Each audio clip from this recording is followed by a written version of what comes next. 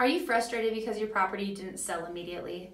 What went wrong? Perhaps there are a few small adjustments that can be made to better present your property and improve your marketing efforts to really land a sale. But before we can make these minor changes, we need to ask ourselves a little bit more information. Here are three simple questions. First, how many showings did you have? Second, did any of these showings result in an offer? And third, what paid marketing did your agent use for maximum exposure? Once you've honestly answered these questions, we can better determine the course of action that we need to take to get your property sold fast. Call, text, and email us today, and we can start the process of relisting your property.